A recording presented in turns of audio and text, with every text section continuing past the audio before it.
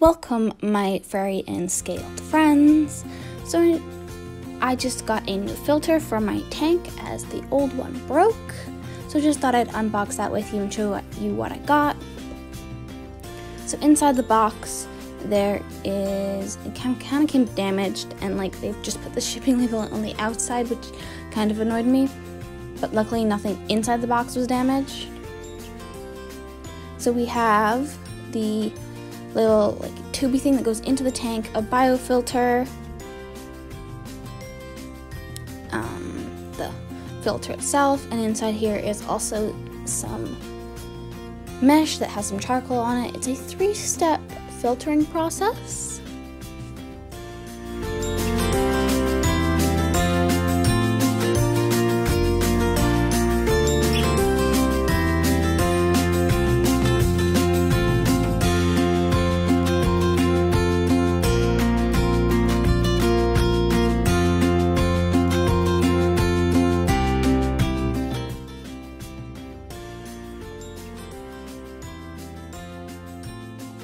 Thank you for watching and don't forget to check out the rest of our videos.